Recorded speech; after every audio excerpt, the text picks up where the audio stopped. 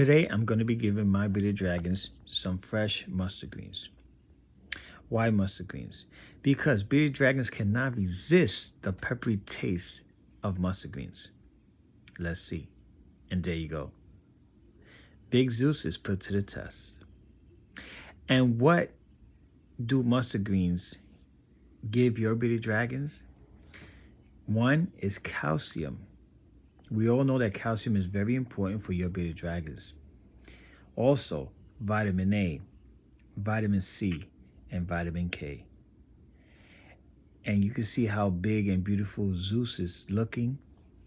Because I'm a firm believer, guys, of giving your bearded dragons all the proper greens that it needs and insects and always mix up the meals. Don't give them the same meal every day.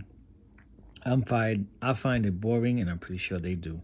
All right, guys. The next one. Later.